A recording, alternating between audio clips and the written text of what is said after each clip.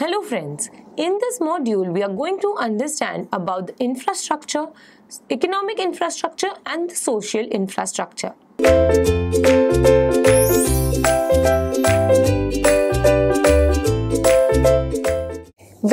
Whenever any business needs to grow, infrastructure is the basic requirement for any business because if I want to get some goods, if I want to develop some goods, I need basic infrastructure. For rapid industrialization, movement of goods, movement of people, infrastructure becomes very important. Now, what do you mean by infrastructure? Infrastructure is not just limited to building, bridges and all these things. Infrastructure is a very wide Infrastructure is very important for socio-economic development of any region. Now, what do you mean by socio-economic development? If a person needs to develop socially or economically, infrastructure plays a very vital role. So basically infrastructure can be divided or classified into further two ways economic infrastructure and social infrastructure. In this module we will be understanding about economic infrastructure. Now what is economic infrastructure?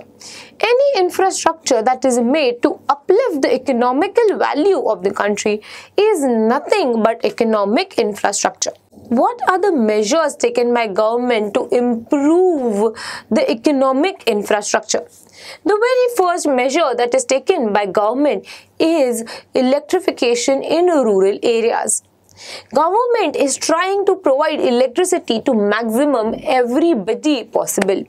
So government is trying major effort so that everybody has proper electricity and a lot of different activities can be conducted. Apart from that, government is also trying to increase the level of electricity generation. As the population is increasing, the need for the requirement for electricity is also increasing. Therefore, what needs to be done is the Therefore, what needs to be done is increase the production of electricity. Government is working towards that. Also, government is trying to build more and more roads. For this purpose, government has made efforts to build roads. For example, 3.37 lakh kilometers of roads were built. That is a huge amount of roads are built. These roads are built so that the places could actually connect and there is regional connectivity between different places.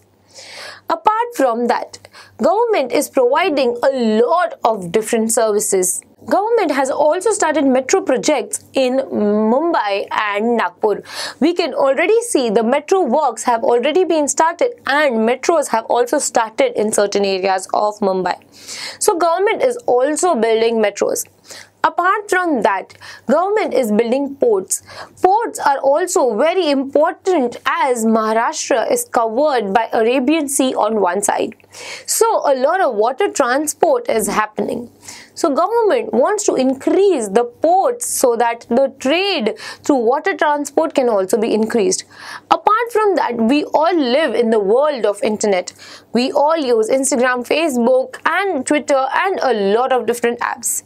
Over here, what happens is in Maharashtra, alone we have 5.45 crore internet users which is the highest in any other state over here that means we have a large amount of people having access to internet which is a great thing.